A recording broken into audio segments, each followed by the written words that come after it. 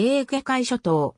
内部区分を示す。エーゲ海諸島あるいは、エーゲ諸島は、エーゲ海に所在する島々の総称。トルコ共和国本土であるアナトリア半島の海岸線近くを含めて、ほとんどの島がギリシャ共和国領であり、ごく一部のみがトルコに属する。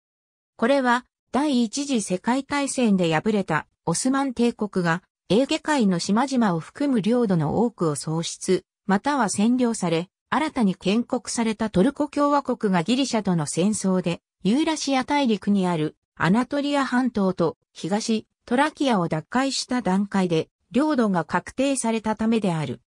ドデカネス諸島は第二次世界大戦で敗戦国となったイタリアから勝利した連合国の一員であるギリシャへ譲渡された。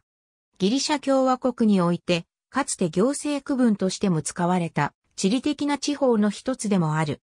地理的なエーゲ海諸島とは、西と北をギリシャ本土、東をトルコ本土に挟まれ、南はクレタ島、南東はロドス島、カル、エーゲ海諸島は伝統的に以下の7つのグループに分けられてきた。北から順に以下の通り。行政的にドデカネス諸島に含まれるロドス島東方のカステロリゾ島は地理的には東地中海に属する島である。また、クレタ島とペロポネソス半島の間にあるキティラ島、アンティキティラ島は、歴史的な経緯から、エーゲ海諸島ではなく、イオニア諸島の一部とみなされる。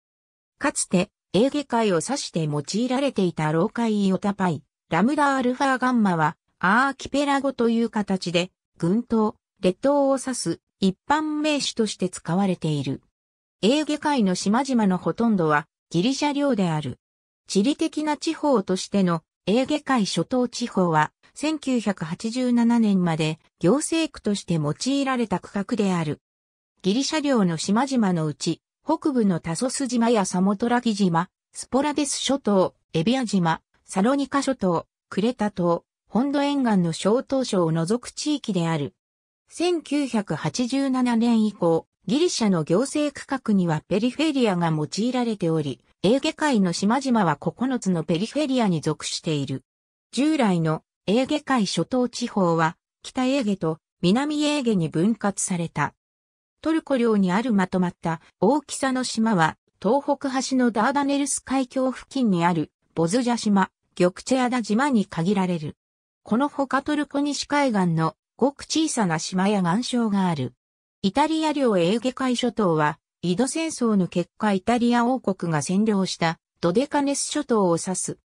ありがとうございます。